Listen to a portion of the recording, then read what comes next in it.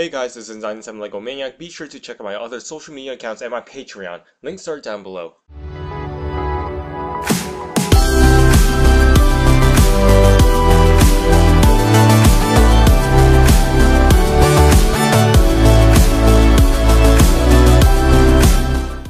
I know these minifigures seems to show up out of nowhere.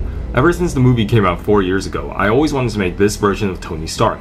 I actually tried to attempt it before, but never continued it because I was relatively new to customizing back then and I had no idea where to start.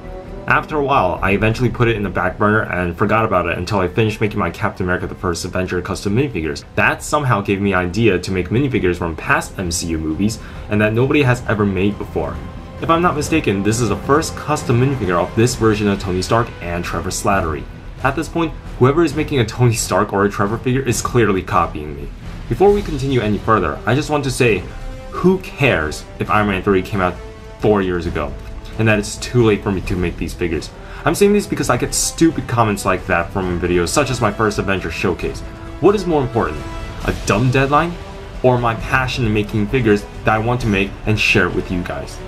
As I say in every description and the intro of the video, I do not sell these figures, and rather than focusing on what minifigures I'm making next, please just focus on the minifigures in this video. To start off with Tony Stark, the mechanic, I modified the Wyldstyle hood and painted it black. This was originally meant for my CW Speedy custom, but I never made her because I don't care about CW figures anymore. I used Lego's Tony Stark head and painted cuts and bruises.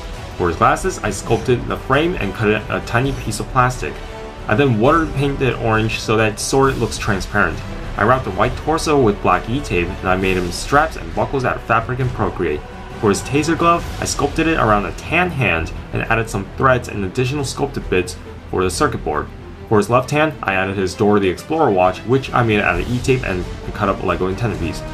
His bag is made from a modified collectible minifigure spy bag with a neck brace cut off and some threads and Procreate for weapon storage. The accessory includes a dart gun, which I made from many different types of cut up Lego, a grenade from Brickforge, another grenade from a spring-loaded shooter missile and a Brickforge arrow, a lasso out of a Brickforge arrow, and a thread, a newspaper out of E-tape, and a taser out of part of a Brickforge gun, and two radio earpiece glued together. All these can be stored in this bag. His legs are simply painted on the dark blue legs, and another accessory is this gun he has when he was interrogating Trevor. The only reason why I made Trevor Slattery is simply because I think it'll be hilarious to include him, which is why I didn't spend a lot of effort in making him. I got this hair bun piece from an Asian collectible minifigure, and instead of using LEGO Group's beard, I sculpted it on. I then painted his drunk, happy expression, which fits perfectly for his character. His bathrobe is from Cape Madness, and I didn't bother painting letters on his shirt. I made his beer can using two Lego pieces and for a joke, I sculpted a fortune cookie out of Procreate. That is all. I hope you guys enjoyed this video. Stay tuned for more custom minifigure videos. As of right now, I have a Charlotte from Infinite Shadows, Justice League, Red vs. Blue, and Transformers next. I can't wait to finish those and share it with you guys. And thanks for watching, and I'll see you guys later.